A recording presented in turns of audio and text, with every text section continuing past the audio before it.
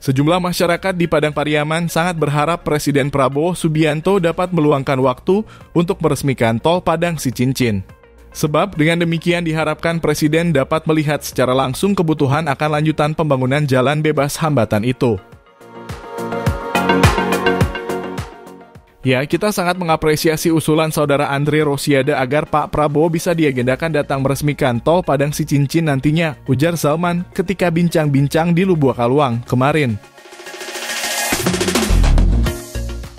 Menurutnya, kedatangan Presiden diharapkan bukan karena seremoni peresmian, namun lebih kepada memperlihatkan kondisi real pembangunan tol di Sumbar saat ini. Kita sama-sama tahu Padang si cincin itu baru sebagian kecil. Masih panjang lagi PR tol di Sumbar. Jadi, biar Presiden lihat kebutuhan lanjutan tol ini, imbuhnya. Dengan begitu, ia berharap Prabowo yang menurutnya memiliki kepedulian yang tinggi bisa menjadikan lanjutan tol Padang si cincin prioritas. Setidaknya selalu menekankan kepada kementerian terkait dan pemerintah daerah untuk lebih gesit menyelesaikannya. Misalnya dibilang ada banyak masalah tanah. Itu kalau ngomong terus tentu tidak akan selesai-selesai. Sebenarnya kalau hitung-hitungan jelas, pasti masyarakat mau. Jangan sampai kayak awal-awal padang si cincin dulu. Masak tanah di tempi jalan dihargai 43.000 per meter, jelasnya. Pandangan Zalman dibenarkan sejumlah pemuda yang ikut duduk dalam diskusi itu.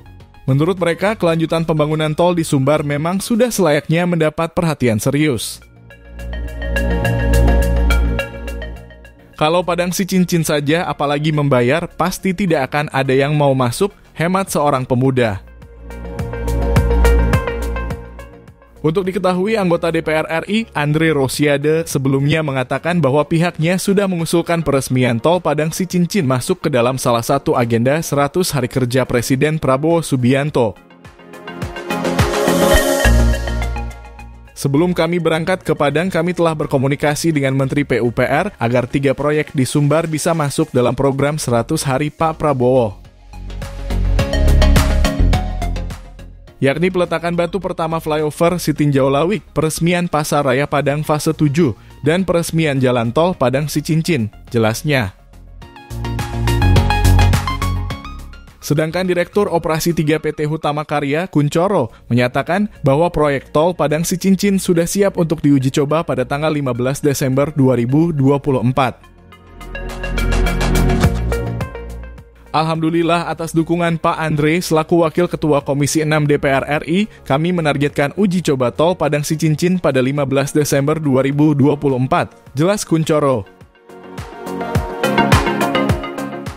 Dengan target tersebut, Kuncoro berharap jalan tol ini bisa dimanfaatkan oleh masyarakat Sumatera Barat saat musim libur Natal dan Tahun Baru 2024 per 2025.